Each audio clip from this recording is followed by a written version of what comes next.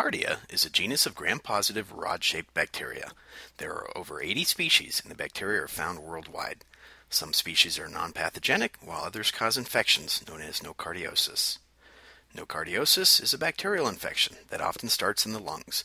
It may also spread to other organs, including the brain and skin, as well as the kidneys, joints, heart, eyes, and bones. 80% of nocardiosis cases present themselves as invasive pulmonary infection, disseminated infection, or brain abscesses. Nocardia bacteria are commonly found in soil.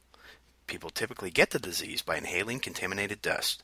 When soil containing Nocardia bacteria enters an open wound, the cutaneous form of the disease can occur. On rare occasions, nosocomial post-surgical transmission may happen. The majority of cases are caused by Nocardia asteroides complex. This complex is comprised of a number of pathogenic species of the bacteria. In the United States, it has been estimated that 500 to 1,000 new cases of nocardia infection occur annually. Approximately 60% of nocardiosis cases are associated with people that have a pre-existing immunocompromised condition. Severely immunocompromised persons are at greatest risk for nocardiosis.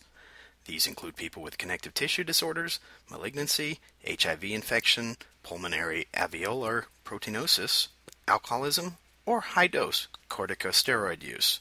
Small children and the elderly also appear to be at greater risk of acquiring nocardia infections. These are just a few things to know about nocardiosis. To learn more about infectious environmental disease testing services and prevention measures, or other indoor and outdoor environmental concerns, please visit the website shown on the screen.